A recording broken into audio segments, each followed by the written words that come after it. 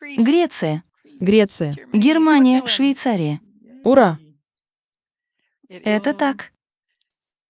Продолжайте, Алин, извините. Это определенный интерес всего мира к изучению пчел и биоразнообразия. Да, Большое спасибо всем, кто присоединился к нам сегодня. Алекс, у вас есть видео для нас, верно?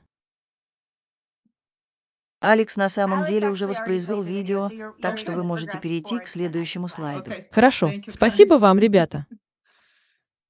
Так что мой долг просто ознакомиться с инструкциями. Я знаю, что большинству из вас, ребята, на данный момент хорошо известны правила, но для тех из вас, кто делает это в первый раз, давайте обновим их. Вы будете отключены на время вебинара, просто чтобы убедиться, что у всех будет хороший звук, чтобы мы могли насладиться этим замечательным вебинаром. И, пожалуйста, задайте свой вопрос участникам дискуссии в разделе вопросов и ответов Zoom. Так что этот вариант должен быть для вас предельно ясен. Если нет, просто введите свой вопрос в чат, и наша команда поможет вам в этом. Вы можете общаться с другими участниками чата, но, пожалуйста, будьте вежливы. Мы здесь для того, чтобы насладиться этим замечательным моментом, многому научиться и насладиться этой замечательной сессией. Поэтому просто хочу дать краткое, извините, краткое представление о том, что мы сегодня увидим. У нас будет пятиминутное краткое введение, что мы уже делаем. Затем у нас будет около 55 минут презентации пчелы в биоразнообразии с Сони Копайн. Она президент и основатель B Foundation. А затем мы перейдем к обсуждению вопросов и ответов еще примерно на 60 минут. Не мудрствуя лукаво, сегодня мы имеем удовольствие представить вам Соню Копин. Она директор фонда B Foundation в Нидерландах. Сегодня здесь присутствует доктор Элейн Ингхэм, основатель почвенный микробиолог веб-школы Soil Food, и я ваша ведущая на сегодня. Так что, Соня и Элейн, если хотите. Давайте начнем с Сони 1 Стрит, если вы хотите представиться нашим гостям. Да, большое вам спасибо. Я рада рассказать вам кое-что о пчелах и биоразнообразии сегодня. Сегодня вечером. Здесь сегодня вечером.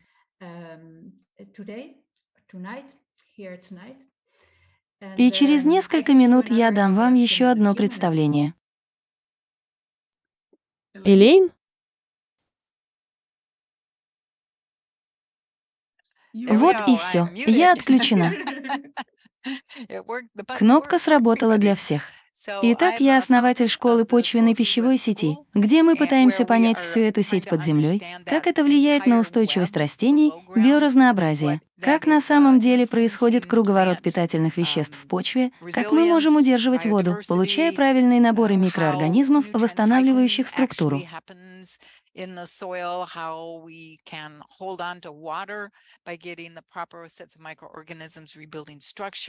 Существует около 11 всеобъемлющих принципов, о которых мы говорим в веб-школе Soil Food. Так что приходите и присоединяйтесь к нам на базовых занятиях, чтобы вы тоже могли узнать и понять, насколько важна вся эта биология. И, конечно, что касается пчел, то с точки зрения микробиолога пчелы абсолютно замечательные такси. Они доставят вас куда угодно. И мы рады, что Джон до сегодня с нами. Джон, не хотите ли вы сказать за нас несколько слов? Привет от полицейского 15 в Монреале.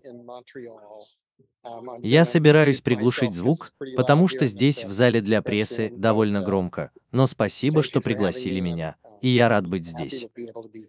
Большое спасибо. Мы всегда рады вам помочь. Не мудрствуя лукаво, давайте начнем презентацию сегодня.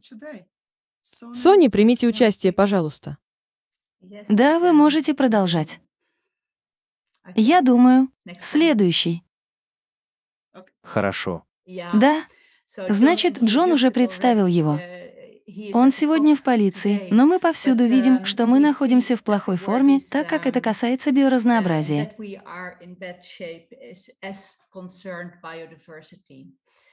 И я представлю кое-что о пчелах в связи с биоразнообразием. И я очень рада это сделать. Так что давайте продолжим. Пожалуйста, следующий. Я хочу начать с того, что задам вам несколько вопросов. Пожалуйста, первый вопрос. Итак, сколько видов пчел существует во всем мире? Что вы думаете?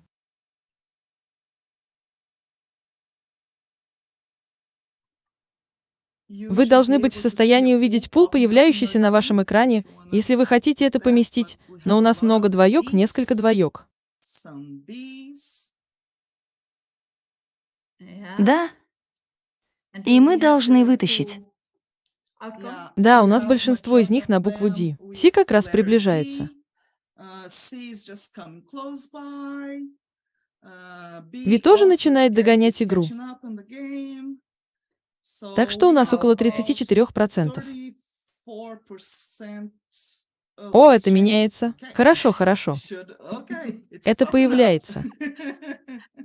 Я даже читать не умею. Хорошо, теперь все стабилизировалось. Таким образом, у нас 35% пчел на букву «С», 32% на букву «Д», 28% на букву «В» и 7% на букву «А». Итак, у нас 20 видов пчел в мире по всему миру. Okay. So we are at 20,000 species of uh, bees in the world, worldwide. Так вот о чем мы сегодня говорим, об этих 2020 годах. Следующий слайд 20, извините. Да. Следующий. Так сколько же из них делают мед? Это только один вид или более 500 видов, или все они производят мед? Так что толчок возник снова. Мы снова участвуем в гонке.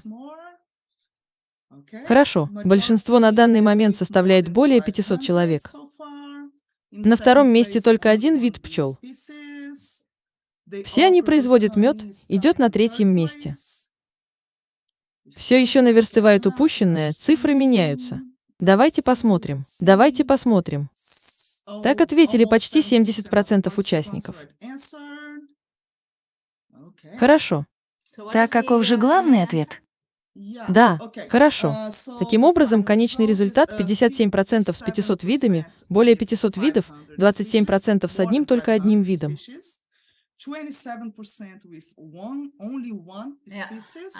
Вот это мы и видим. И 60% с тем, что все они производят мед.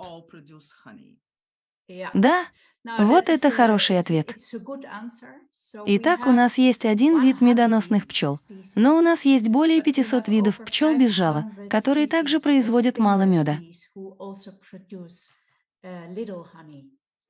Но это не в рекламе, это не коммерческий мед и не тот мед, который продается в коммерческих целях.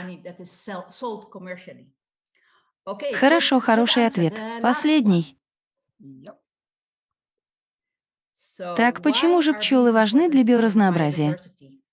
Какой процент всех растений зависит от опыления для получения семян? Так что же вы думаете? Хорошо, пока 80% выигрывают гонку. Это появляется. Все еще 80% выигрывают игру.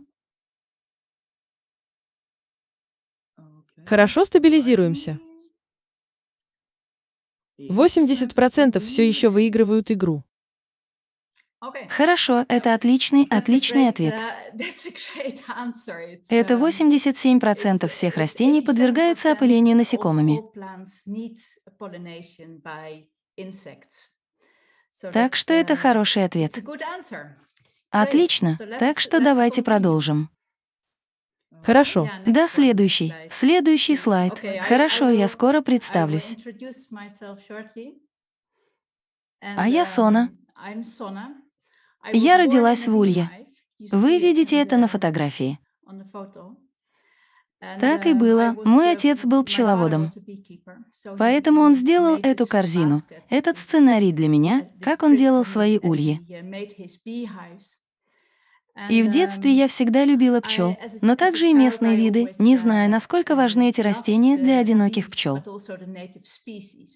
Not knowing how, how important these plants are for um, solitary bees. Then, Затем я um, начала учиться в университете Вахёнингера. um, uh, Я изучала uh, экономику сельского хозяйства и экологическое сельское хозяйство. Я была очарована столкновением между землей и экономикой. uh, Уже в already in the 90-е годы 90s это было проблемой, а не только сейчас. um, not only now. Um, so Так that's- вот почему я тогда um, пошла учиться. А после um, этого я работала с фермерами. Um, Я несколько лет uh, работала в Перу, а затем в Восточной Африке. А теперь я uh, уже более now I'm 15 лет работаю в Нидерландах um, у себя на родине. И с since, uh, 2012 года 2012 я начала работать um, тренером по натуральному пчеловодству. А затем довольно um, скоро, в 2015 году, я начала 2015, тренироваться по одиночным пчелам, uh, диким пчелам и биоразнообразию. Я помню первый мастер-класс, который я провела по пчелам и червям. Это было в 2015. 2015 That was году. in- Это было в Амстердаме, где я встретила Джона Лью. И с тех пор мы работаем вместе. Да, следующий слайд, пожалуйста. А затем в 2015 году я uh, основала фонд «Б». И то, что мы делаем, это, по сути, повышение uh, осведомленности об опылителях и среде обитания для опылителей. uh, um, Таким образом, uh, мы даем образование. Мы work много работаем со школьными классами, а также со with, студентами и, да, деловыми людьми. people. И обучая их, um, мне нравится всегда выходить на улицу и заниматься посадкой деревьев и кустарников. And И иногда мы uh, называем это тем, что отдаем эти вещи. И это в основном, если мы хотим, если нам нужно присутствовать на политическом поле. uh, uh, Так, например, мы многое сделали в европейском руководстве по пчеловодству, uh, где все еще используется много пестицидов, которые очень вредны для пчел. uh, um, being used uh, who are very harmful for bees. Так что это, по сути, то, чем является область пчеловодства. И мы всегда используем пчел, как я это вижу, поскольку они являются окном для связи или воссоединения с природой.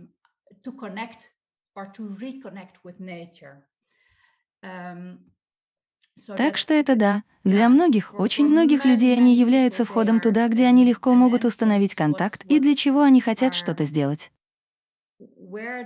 Easily can connect with and where they want to do something for.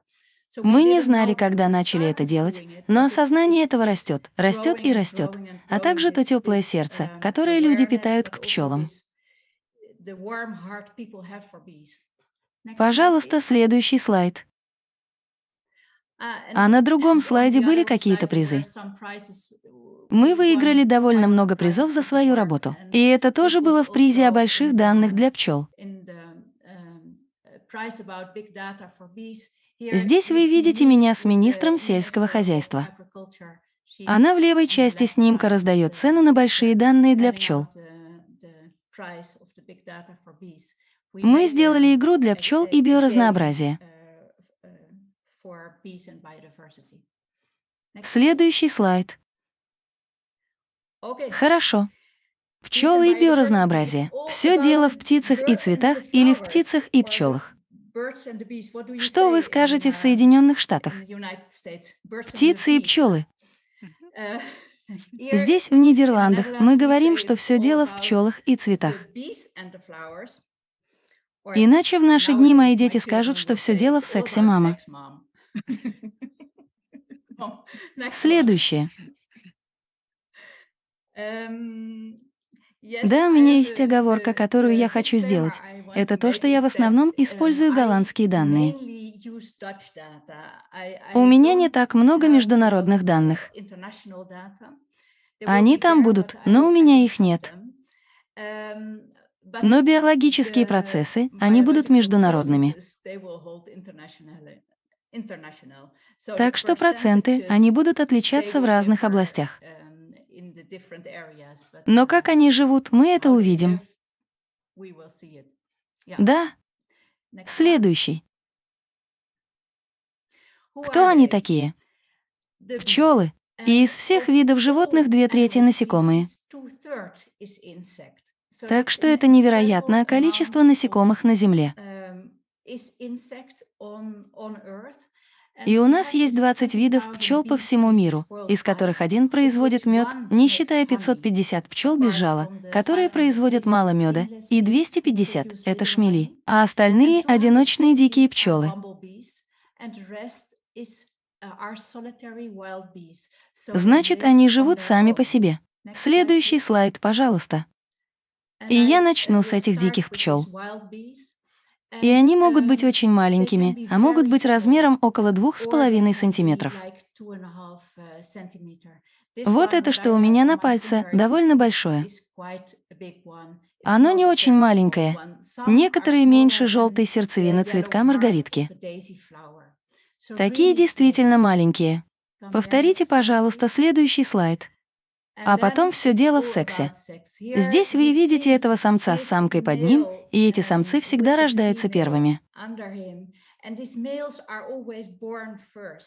И когда они рождаются, когда они рождаются, они летают как сумасшедшие вокруг цветов в поисках самок.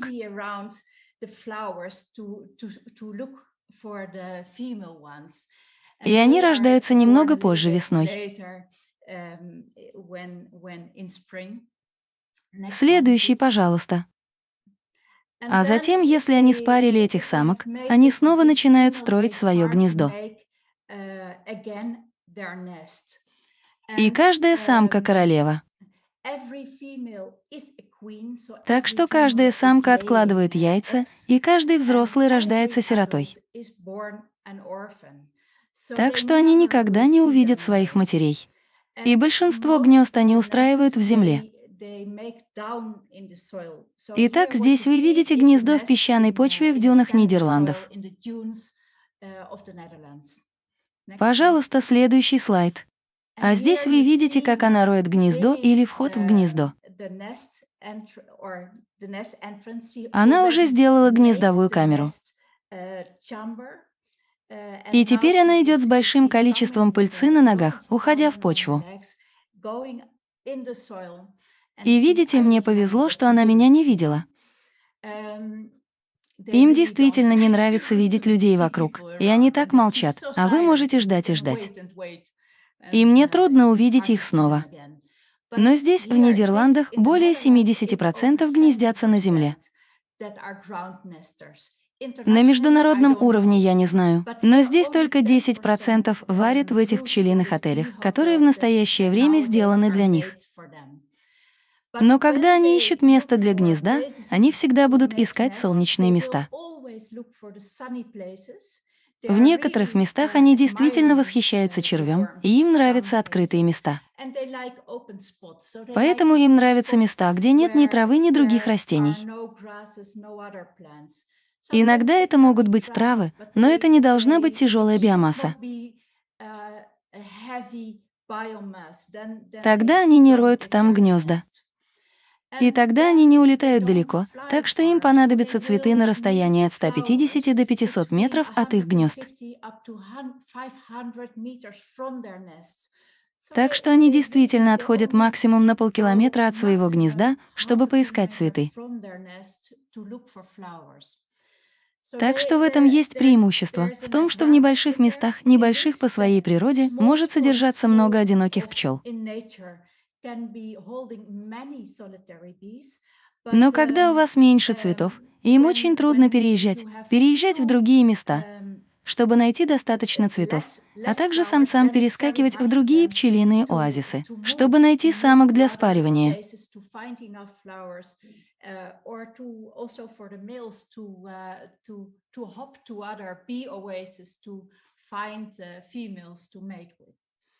Это следующий слайд, пожалуйста. И здесь вы видите гнездо изнутри. Это внутри. Как бы вам это сказать? Вы видите яйцо. Может быть, вы сможете помочь нам найти яйцо, указав на среднее. Вы видите второе яйцо, вы поняли. Да, это то самое яйцо. И яйцо положено на чайную ложку, полную пыльцы. Так что это пыльца, цветы яблони. Я была там, когда она строила гнездо. А потом она принесла полную чайную ложку пыльцы. Она работает над этим почти целый день. Поэтому она начинает с утра, когда становится тепло, а потом работает, собирая пыльцу до двух-трех часов.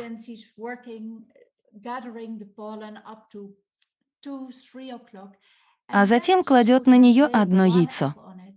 А потом она ищет материал, почву, чтобы покрыть это гнездо, эту комнату. А затем на следующий день она снова идет за чайной ложкой пыльцы. И таким образом она отложит около 20 яиц за свою жизнь. В итоге вы видите пчелу, входящую с пыльцой. Да, вот она. Так что самка всегда откладывает около 20 яиц. И последнее яйцо подряд — это самец. Мужское яйцо. Таким образом, вы можете сказать, что самцы защищают яйцеклетки самок. Но также, когда другое животное придет, чтобы полакомиться этими милыми, сочными личинками, они заберут их с мельниц.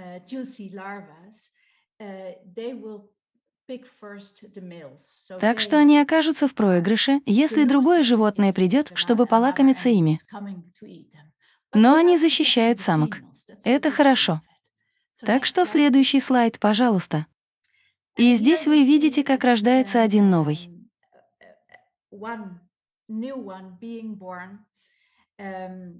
Если личинка съела всю эту пыльцу, то она становится куколкой и остается под землей, как семена.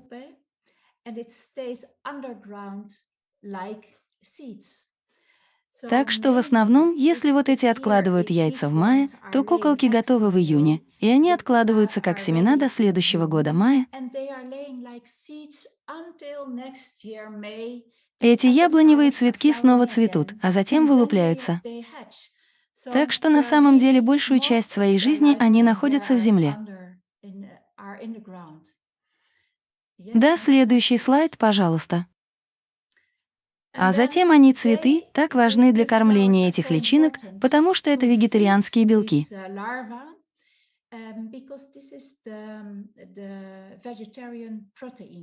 Таким образом, пыльца — это белки, и это пища для личинок.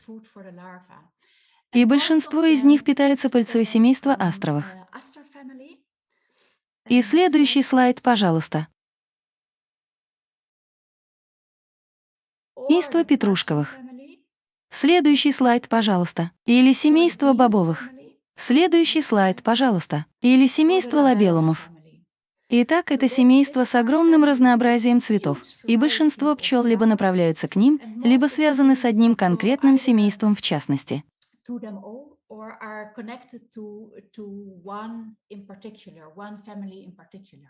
Рядом с этим они также направляются к цветам в кустарниках, кустарниках и деревьях.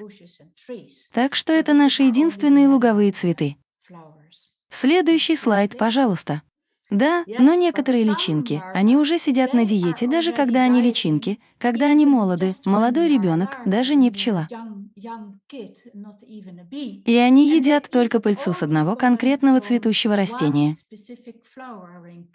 Так, например, этот милитанский ничиганс. Эти личинки едят только эту зеленоватую пыльцу с этого цветка.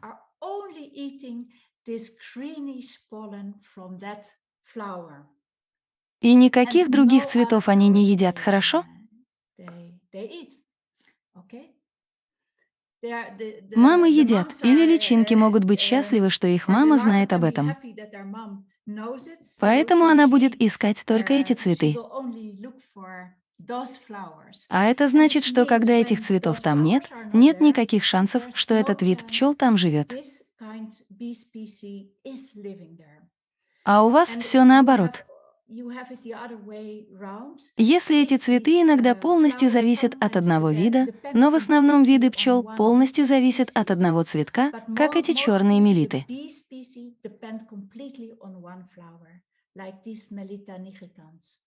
Следующий, пожалуйста.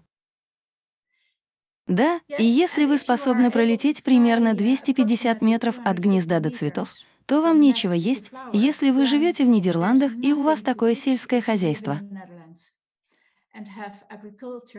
Это наш знаменитый ароматный болдер. Так что представьте себе влияние монокультур. И по сути они едят то, что им нравится.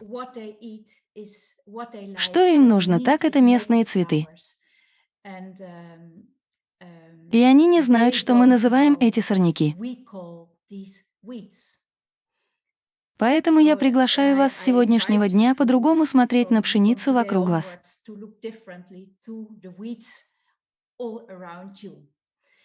В моей жизни произошли большие перемены, потому что я была в своем саду. Всегда срезала или вырывала одну конкретную пшеницу до того момента, пока не узнала, что существует 27 видов одиночных пчел, живущих только на этом цветке пшеницы.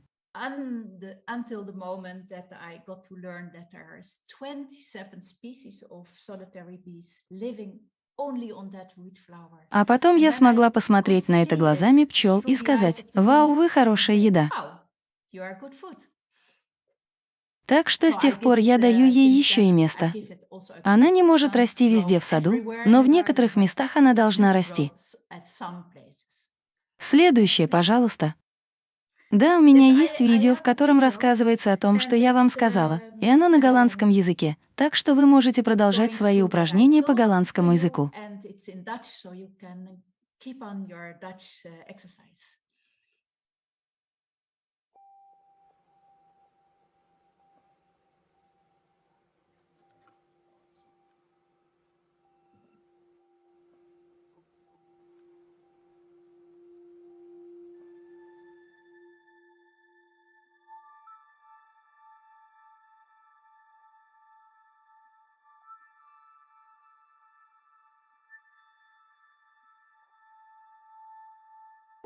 Alle diersoorten, van pissebed tot olifant, hebben hun plek in het ecologisch systeem.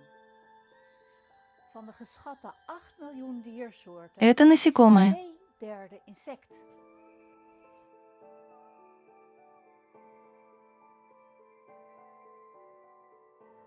Onderdeel van de Насекомые. insecten zijn de vliesvleugeligen. Залив, залив и пасьянс, пасьянс в народном пасьянсе и лось будет. Vliesvleugeligen. De bijen bestaan uit 20.000 soorten wereldwijd, waarvan in Nederland 360 soorten leven. Eén hiervan maakt honing, 29 behoren tot de hommels en 330 zijn solitaire wilde bijen.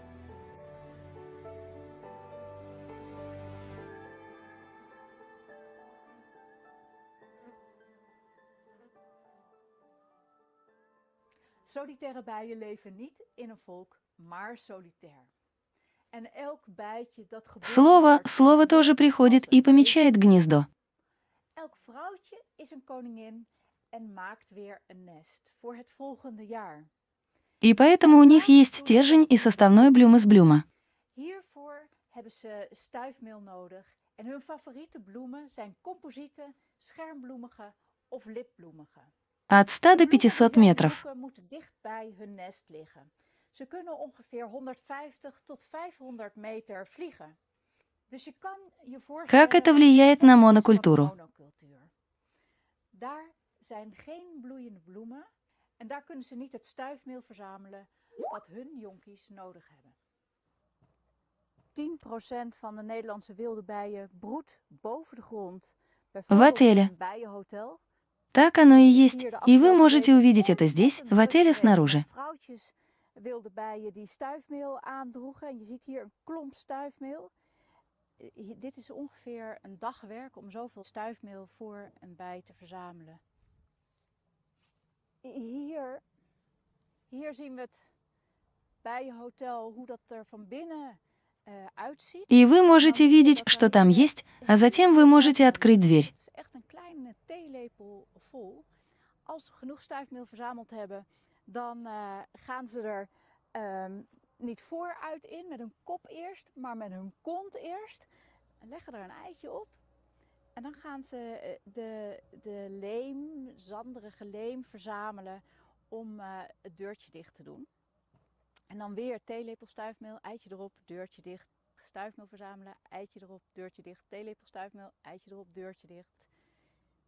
En zo gaat dat door. Этот отель идеально подходит для 11-сантиметровой длины, а последний — менеджер. Als het eh, 11 centimeter lang was. Want altijd legt ze vrouwtje, vrouwtje, vrouwtje, vrouwtje, vrouwtje. En de laatste is een mannetje.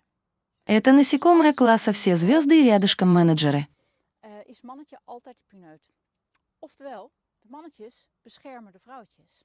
И менеджеры через 4 года весной. Voorjaar, Als opnieuw die appelbomen bloeien, dan pas, in dezelfde week, dan worden die mannetjes geboren en die, eh, gaan, die v- vliegen als een soort ADHD-typetjes rond dit kastje, totdat dat eerste vrouwtje ehm, eh, eruit komt en daar springen ze bovenop, paren daarmee. А затем личинки, и это личинка из семейства. Ehm, een hele cyclus. eh, En dan ontwikkelen die larven zich weer, die verpoppen zich.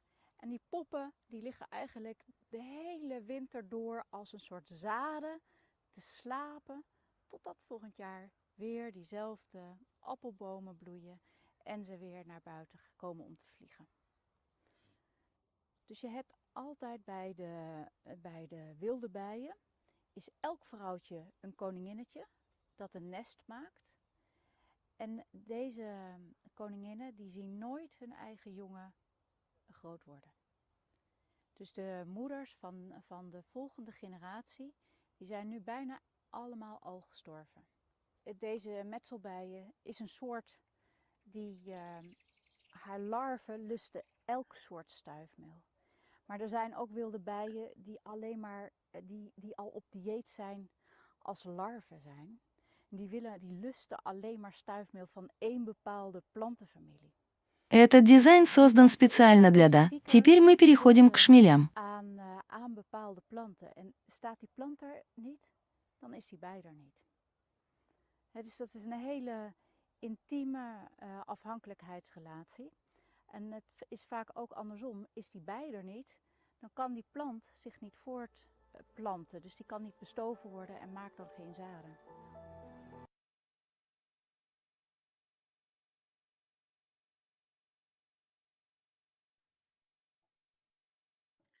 Yes, now we uh, continue to the. Мы называем их скромными пчелами. Таким образом, у нас около 250 видов по всему миру, и они обитают на большинстве континентов. В Африке они обитают не так уж часто. Они не очень хорошо переносят более теплые температуры, но они очень хорошо справляются с холодными температурами. Если у вас есть королева, она живет одна и впадает в спячку в сухой сезон или зимой.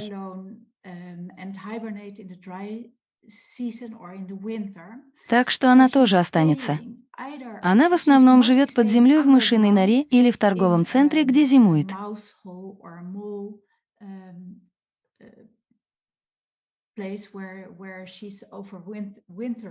А когда наступит весна, вы увидите, как выходят только королевы шмелей.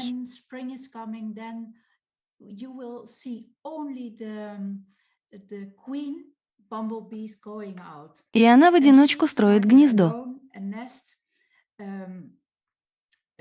Она строит гнездо самостоятельно, а затем она кормит первые поколения личинок, которые становятся первым поколением шмелей. И это первое поколение немного меньше. Так что они не получали так много пищи, чтобы действительно стать большими взрослыми. Так что вы можете заняться следующим. А у них в гнезде от 200 до 300 самок. И они начинают помогать этой королеве и добывают корм примерно на километр вокруг этого гнезда. И в конце сезона рождаются новые королевы на следующие годы, а также самцы трутни. И там производится спаривание с трутнями из разных колоний, сделанными с новыми королевами.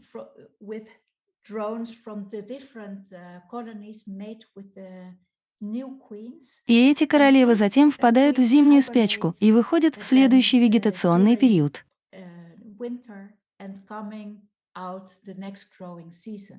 Так что вы увидите, что период их гнездования составляет несколько месяцев с весны по лето. Так что это довольно длительный период, и у них много особей. Поэтому им нужно много пыльцы и нектара в течение всего этого времени, чтобы прокормить следующих новых маток, прийти к новым маточкам в этом процессе. И это также означает, что шмели являются наиболее исчезающим видом. В Нидерландах у нас 31 вид, но из записанных у нас 27 видов, 17 занесены в Красную книгу.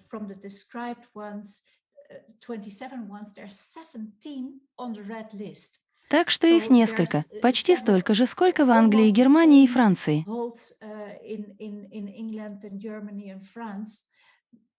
Цифры могут немного отличаться, но это связано с их образом жизни, в котором они так долго нуждаются, пыльцой и нектаром, чтобы принести новую королеву.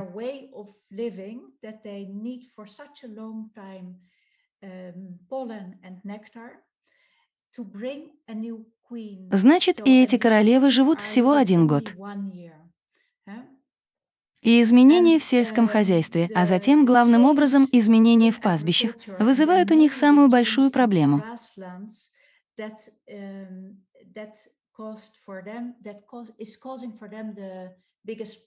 Поэтому они в основном скучают по клеверу. Следующий слайд, пожалуйста. Это также единственная часть, которую я могу рассказать вам о шмел, и мы можем перейти к небольшой части видео.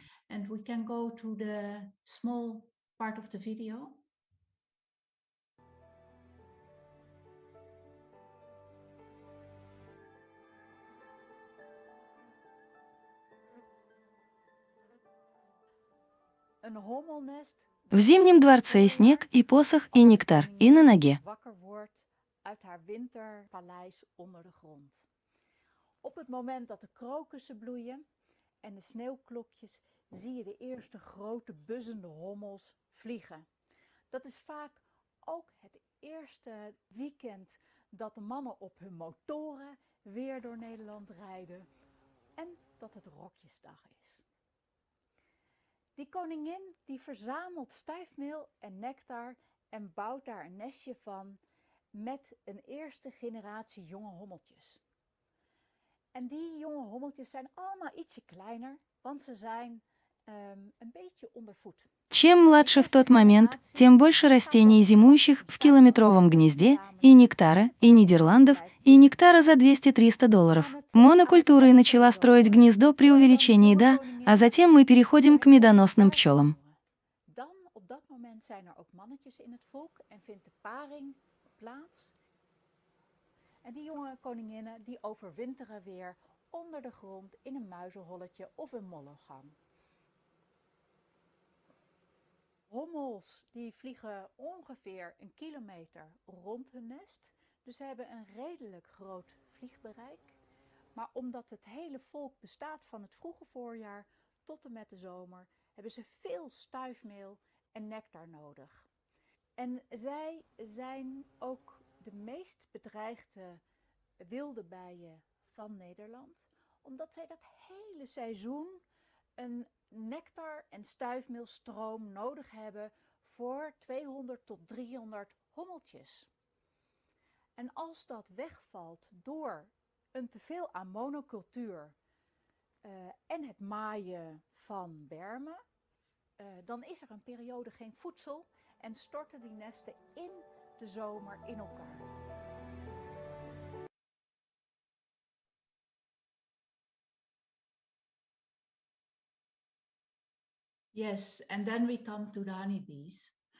Медоносные пчелы, они живут как суперорганизм. Переходите к следующему. И суперорганизм, они никогда не одиноки. И только один из 20 видов пчел — медоносные пчелы. 20,000 bee species are honeybees. И потом у нас есть внутри медоносных пчел определенные расы, но все они принадлежат к медоносным пчелам. На самом деле медоносные пчелы — это насекомые, живущие в пещерах, в деревянных пещерах или скальных пещерах. В основном это кустарниковые насекомые. И поскольку их колония растет весной, в определенный момент она разделяется на две или более колоний, и это то, что мы называем роением. Тогда это тот момент, когда они должны разделиться. uh, to- to split. Но они разделяются и делают это в тот момент, когда через неделю родятся новые королевы.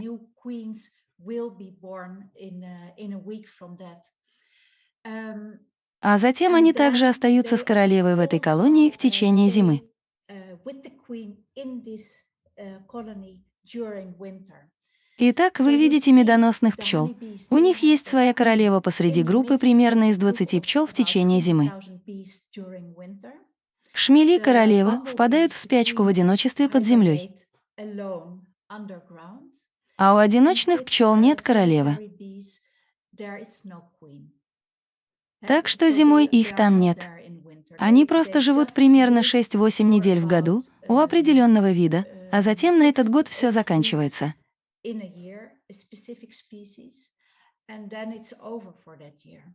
Так что это тоже из-за. Следующий слайд, пожалуйста. Из-за того, что эти медоносные пчелы живут вместе, а королева остается на зиму в колонии, им нужен мед, чтобы согреться.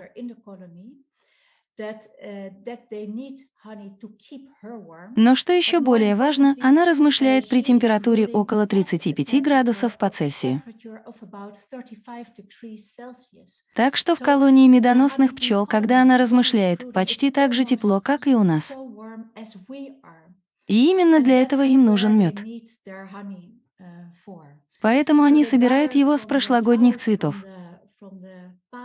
Это пища для фруктов на второе число наступающего Нового года.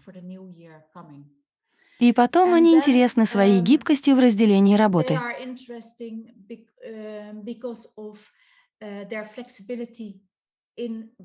У них очень строгое разделение работы.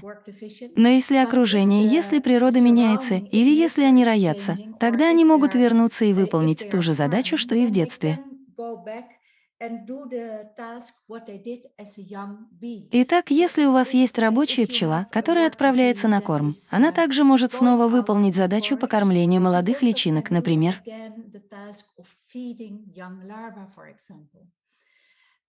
И они обходят свое гнездо на 3-5 километров, они ищут цветы и едят все цветы.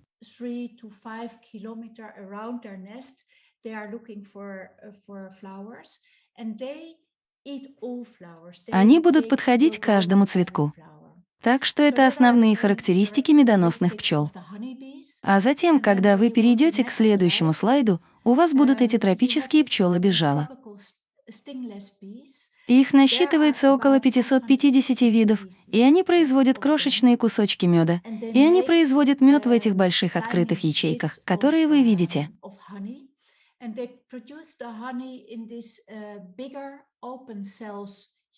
Может быть, Карла, вы можете перейти к ним с помощью курсора. Да, вы видите на внешней части эти большие ячейки, которые являются их приманками. Это похоже на то, как это делают шмели. И есть только один вид, который может производить до 12 литров меда в год. Но это очень нежный и тонкий мед с большим количеством лечебных свойств.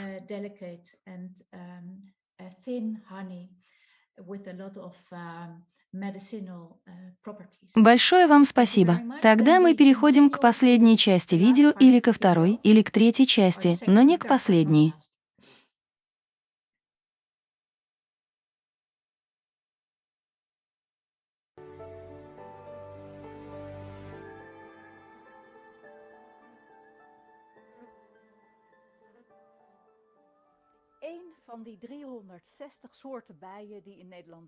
Это оттачивание от 3 до 5 километров, и это хумельс и одиночная да. Zij hebben een vliegbereik van 3 tot 5 kilometer en lusten net als de hommels alle soorten bloemen. En nesten van honingbijen bestaan vele generaties achter elkaar. Het is te vergelijken met een stad waar ook generatie na generatie in leeft. En in tegenstelling tot de hommels en de solitaire bijen overwintert de koningin met een groep vrouwtjesbijen, met een groep werksterbijen.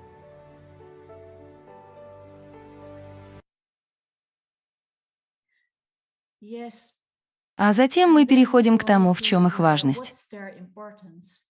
Итак, следующий слайд, пожалуйста. Вы были совершенно правы в вопросе викторины, что ни пчел, ни семян нет. Так что на самом деле 87% старых растений нуждаются в опылении. А цветы — это пища для насекомых, поэтому они дают им пыльцу и нектар. Но тогда вы получаете эти семена, вы получаете генетическое разнообразие путем перекрестной полонизации. А также эти семена являются пищей для многих-многих животных. И семена, которые становятся растениями, они обеспечивают покрытие земли. Таким образом, они дают охлаждение земле, они дают это растениям, они ищут хранилище КО2. Они хранят сахар. Они являются непосредственно пищей для животных. Они являются органическим материалом, а затем пищей для почвенных организмов, подобно тому, что делают их корни. Они дают воздух, они помещают его в землю. Они делают почву возможной для хранения воды. Они делают доступными минералы, а также являются органическим материалом для пищевых почвенных организмов. Так что эти растения существуют потому, что там есть пчелы. И тогда возникнет вопрос, может быть, на следующем слайде, а что, если там нет пчел? Кто же тогда главные опылители? Или почему? Нет? Да? Это третий вопрос. Давайте начнем с третьего вопроса. Кто является главным опылителем, когда пчел нет или до того, как они появились? Итак, до 66 миллионов лет назад кто был главным опылителем? Так кто же может что-то добавить? Да, именно так. Ветер, ветер. Да, теперь бабочек немного, муравьев немного, немного, немного, немного. Так почему же муравьи и бабочки не являются главными опылителями? Почему пчелы являются главными опылителями? Это первый вопрос. Не могли бы вы задать его, а затем ответить в чате? Цифры, волосы у них есть. Да, они пушистые. Да. Да. Так это из-за того, что их личинки питаются пыльцой. Да. Так что других нет, никаких мух. Они не едят пыльцу, их личинки. Что касается бабочек, то они не едят пыльцу. Так что пыльцой питаются только пчелы и их личинки. Так что эти пчелы-самки просто ищут пищу для своих личинок. Тем временем, с помощью своих пушистых волосков они опыляют почти все растения. И это было до того, как появились пчелы. Это было около 60 миллионов лет назад, во времена динозавров. Что в конце эпохи динозавров пчелы появились во взаимосвязи со своими цветами.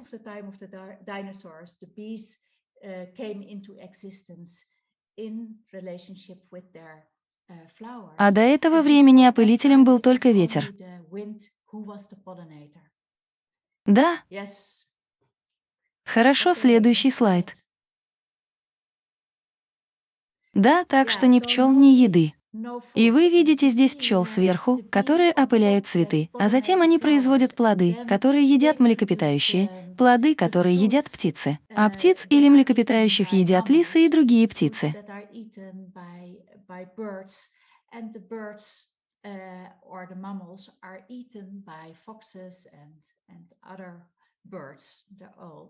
Итак, вы видите здесь, что пчелы есть.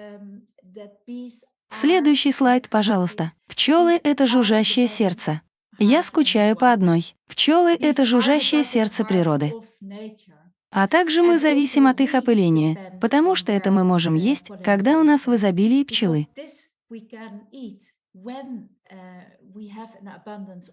А если пчел нет, то это увидите на следующем слайде, вы увидите это. Таким образом, это огромное сокращение наших продуктов питания без пчел, потому что две четверти наших продуктов питания зависят от опыления.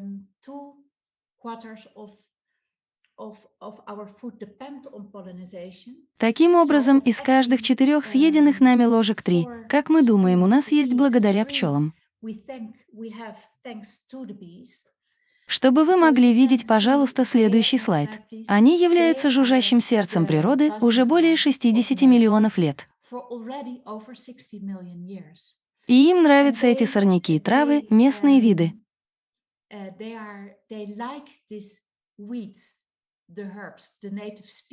Они там уже тоже 60 миллионов лет. Так что они не так сильно зависят от посевов и от цветов, которые мы выращивали. Это их не интересует. Следующий, пожалуйста. Но тогда мы в данный момент переживаем невероятное сокращение численности насекомых. Вы видите здесь на левой стороне 75% снижение массы насекомых за 27 лет. Это было исследование, проведенное в Германии в природных заповедниках. Таким образом, в более чем 60 заповедниках они подсчитали эту потерю массы насекомых. Так что это включает всех насекомых. И если у нас здесь, в Нидерландах, 55% всех наших пчел занесены в Красную книгу, то во всем мире это 40%. Так что это невероятный спад, с которым мы сейчас сталкиваемся. Пожалуйста, следующий слайд. И если вы посмотрите на эту обзорную фотографию Стокгольмского центра устойчивости, то вы увидите также, например, по сравнению с изменением климата верхняя красная часть. Вы видите потерю биоразнообразия как невероятную величину, превышающую способность Земли к самовосстановлению.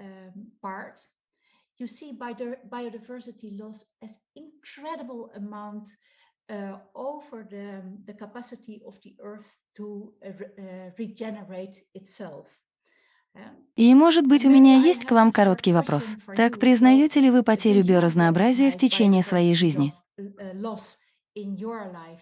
Или вы слышите, как ваши родители говорят о видах, которых вы никогда не видели? Может быть, вы сможете добавить что-нибудь в чат? Да, да, да. Что вы видели? Да? Так что это очень, я вижу многие «да». Но, например, я знаю, что в детстве, когда мы отправлялись в поездку на машине, когда мы возвращались домой, машина была полна мертвых насекомых, так что нам приходилось ее мыть.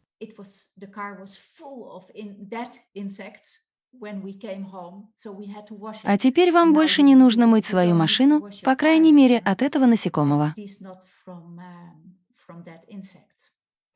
И я также вижу, что когда я родилась, на лугах было много-много одуванчиков, а теперь их там больше нет. Следующий слайд, пожалуйста. Итак, у нас есть эти потери из-за сельского хозяйства и того, как мы ведем сельское хозяйство, это индустриализация сельского хозяйства. Когда у нас есть эти монокультуры, между ними больше ничего не растет. Так что ни трав, ни пятен, где пчелы могли бы собрать немного пыльцы. Масштабы полей невероятно возросли. Тогда пестициды или гербициды убивают пчел и растения, удобрения делают невозможным рост многих трав.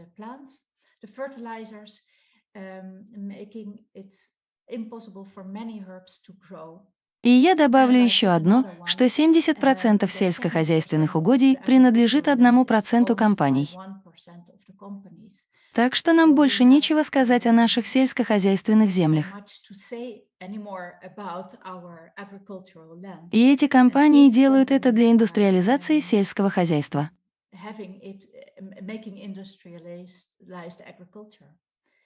Да. Следующий слайд, пожалуйста. Затем мы переходим к тому, что им нужно.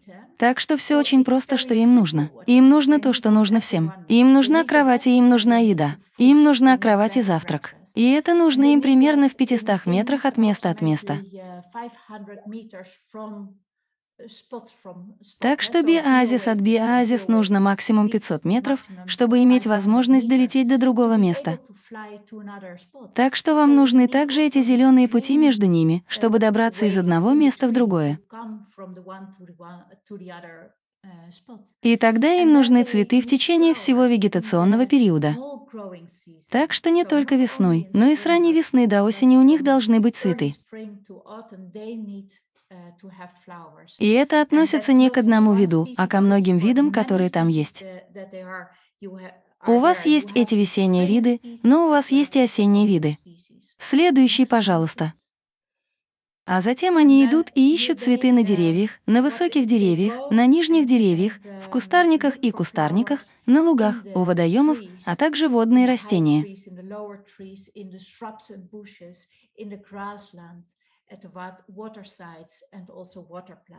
Таким образом, они ищут аборигенные виды, и мы можем помочь им в восстановлении экосистем или в сельском хозяйстве, чтобы снова включить этот аборигенный вид и работать во всех слоях природы.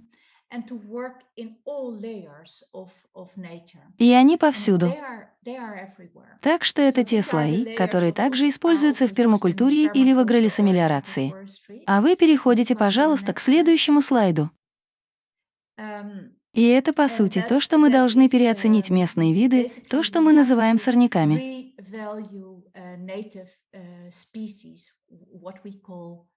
Они не знают этих слов. Но если вы посмотрите на этот обзор, то увидите травы на лугах в 1950-х годах в Нидерландах.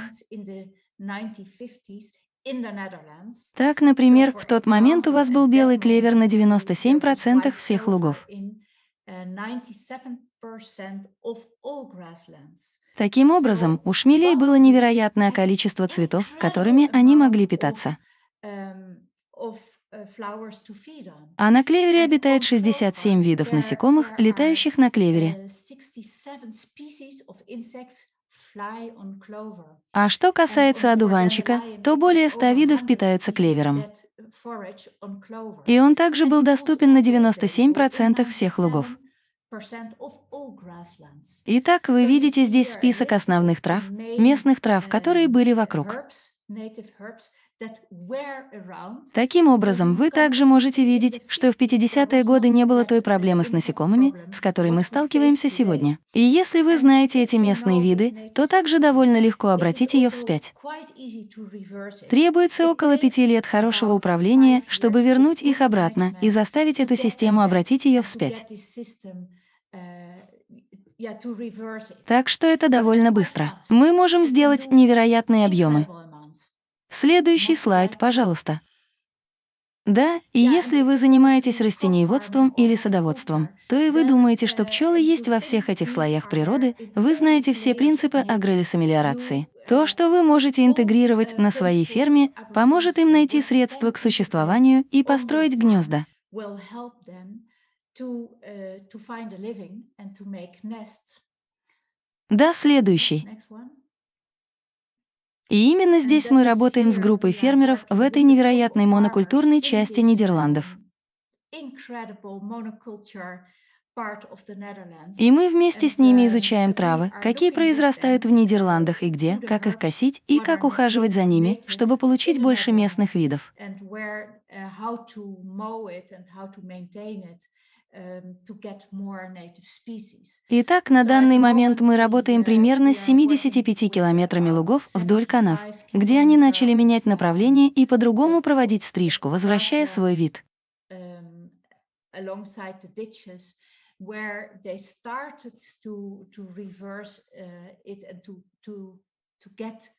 um, through mowing uh, differently get their species back. И это работает, и uh, мне приятно быть с ними.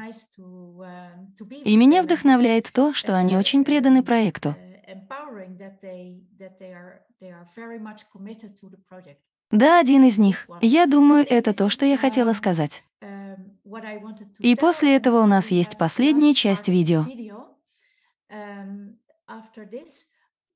Что нам делать? Это около пяти минут, но у нас тоже есть время. uh. Да, давайте посмотрим видео, а потом вы решите, что хотите делать. А затем мы перейдем к вопросам и ответам. Да,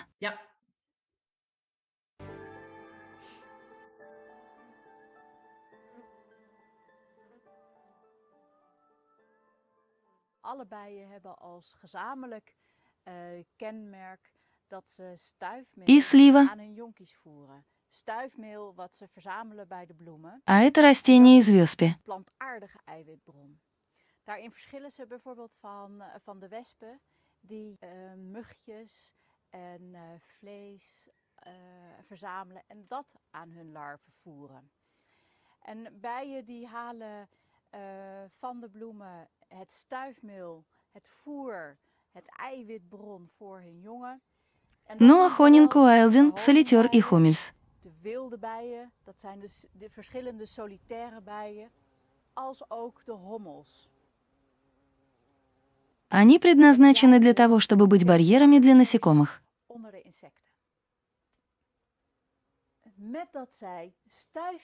У наркоманов en 5 и 30% всех растений, взятых непосредственно из их период динозавров, были ветром. Это цветущее растение, alle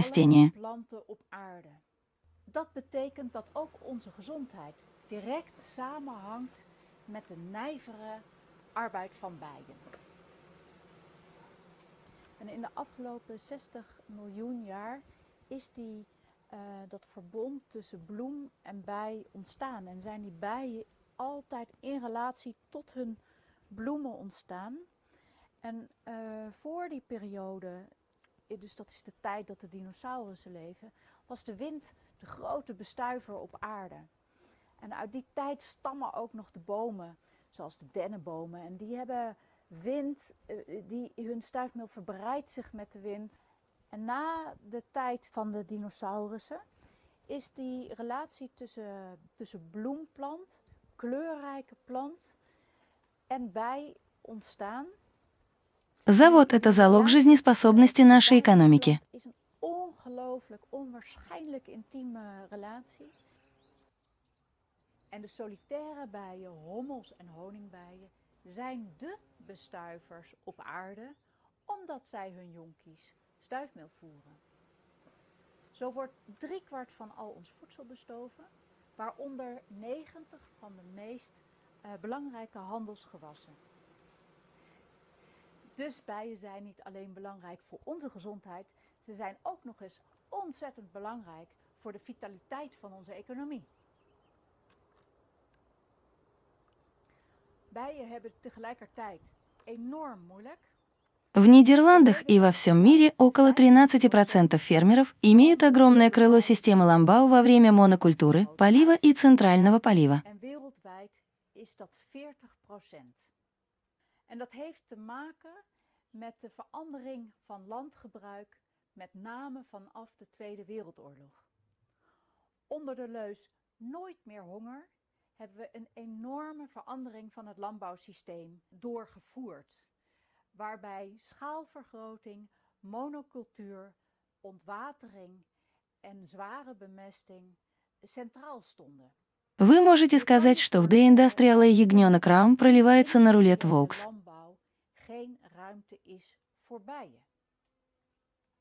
Daarnaast speelt onze volksaard ook een rol. Мы нанесли удар, нанесли удар, и это то, что у нас есть, и полноценные растения, и разнообразие растений, и экосистема. En netjes gemaaide bermen leveren niet de bloemen die de bijen nodig hebben. Dus wat moeten we doen? We hebben te zorgen voor bloeiende weides, bloeiende struiken en bloeiende bomen.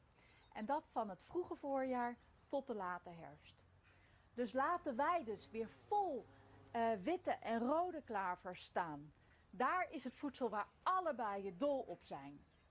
En gooi die tegels uit je tuin en zet het vol planten die bloeien.